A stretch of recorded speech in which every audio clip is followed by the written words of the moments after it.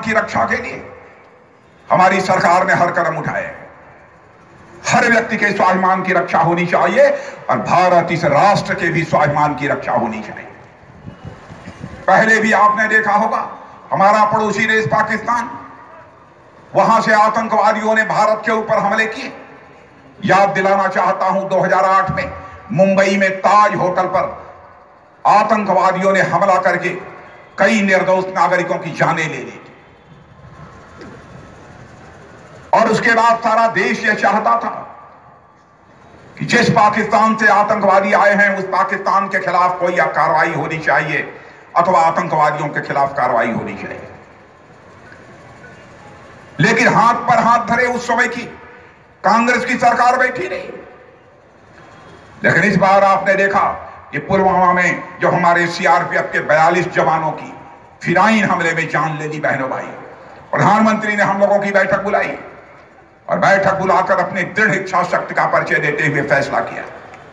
और उसके बाद आपने देखा कि हमारे बहादुर सेना के जवानों ने भारत की धरती से नहीं, पाकिस्तान की धरती पर जाकर आतंकवादी ठिकाने का सफाया करने में कामयाबी आ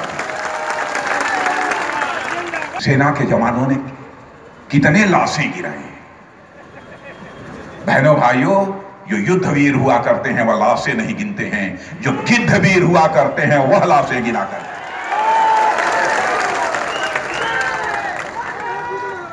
लाशें गिनना यह बहादुरों का काम नहीं होता है। हज़ार होगी तो एक हज़ार रुपया हम देंगे। जिनकी दस हज़ार होगी तो उसको दो हज़ार रुपया देंगे। लेकिन जनता के बीच आकर क्या कहते हैं? हर गरीब को बहत्तर हज़ार रुपया देंगे। नौसिक हुआ है सही बार बिहार बार बिहार और ये देखिए कहाँ बुद्धि मारी गई है इनकी। इन्हों, इन्होंने एक, एक, एक बात और कह दी है। यह कहा है कि हमारी सरकार आएगी तो राष्ट्रद्रोह का कानून समाप्त कर देगी। हो है। बहनों भाइयों यदि कोई भारत को तोड़ने की कोशिश करता है भारत की सामाजिक समरसता को तार तार करने की कोशिश करता है भारत को अस्थिर करने की कोशिश करता है। हम उसको तोड़ देंगे। क्या ऐसे लोगों को माफ़ किया जाना चाहिए? मैं आपसे इस सवाल का जवाब चाहता हूँ क्या ऐसे लोगों को माफ़ किया जाना चाहिए? कांग्रेस कहती है भले ही कोई राष्ट्रद्रोह करे उस राष्ट्रद्रोही के खिलाफ कार्रवाई करने के लिए कोई कानून नहीं रहेगा।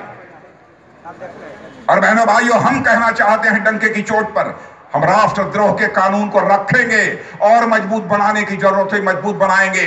यदि भारत माता को यदि कोई तोड़ने की कोशिश करेगा तो उसे सख्त से सख्त सजा देंगे। यह बात भी मैं कहना चाहता हूँ।